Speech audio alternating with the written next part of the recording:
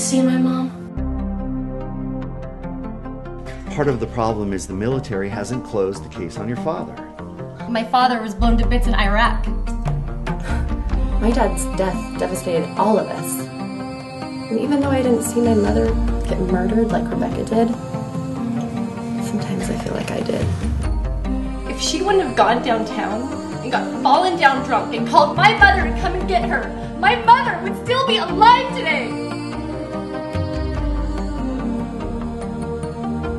We've lost a good deal of our funding and we have to shut down Rebecca's wing. You're not going to bring her here. If we turn her away, she'll be out on the street.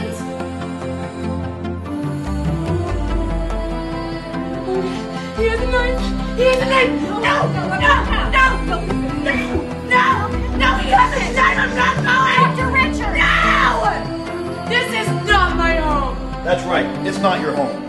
Your home is out on the street with all the other wackos. Look at what you did, you idiot! That would be abuse, Peter. Abuse. You remember what it means. Give it back.